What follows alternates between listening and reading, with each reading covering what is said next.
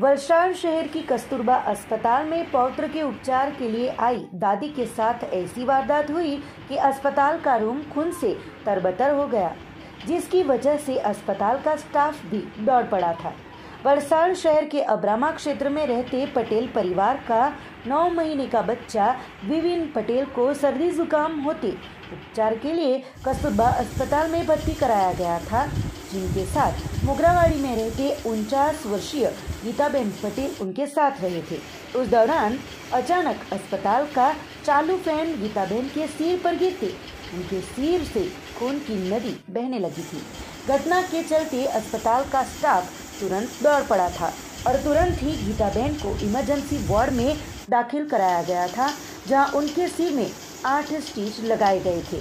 घटना बनते ही अस्पताल द्वारा सभी फैनों की जांच की गई थी फिलहाल तो गीताबेन अपनी लड़की के घर पर उपचार ले रहे हैं तो आप सुनिए समग्र घटना उनके ही मुख से कैसे बनी थी ये घटना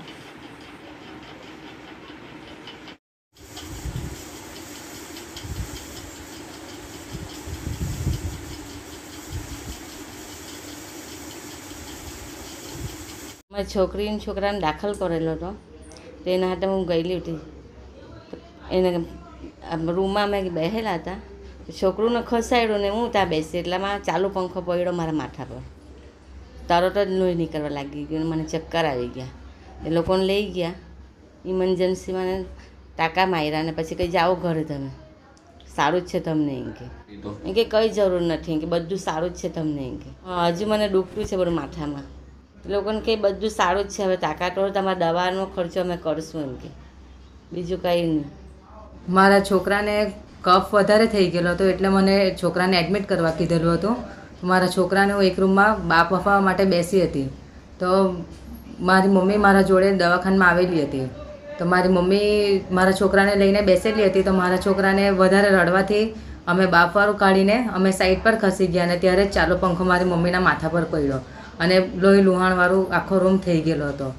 તે પછી મારી મમ્મીના આઠ ટાંકા આવ્યા છે અને ડૉક્ટરો દ્વારા કઈ ટ્રીટમેન્ટ સારી કરવામાં નથી આવી. અને એ લોકોનું કહેવાનું છે કે બધું સારું જ છે. સિટી સ્કેન પણ કરાવવાની જરૂર નથી. આગળ અમે અંદરના પેશન્ટ લોકોને પૂછ્યું ને તો ત્યારે એ લોકોને કહેવામાં આવ્યું કે તમે આવ્યા ને તે તે પહેલાં જ આગળ એક પેશન્ટને રજા આપવામાં આવી. ત્યારે ચાલુ પંખામાં આ રીતનો અવાજ આવતો જ હતો. પણ એ લોકોને કશું કંઈ કાર્યવાહી કરી જ નહીં હતી.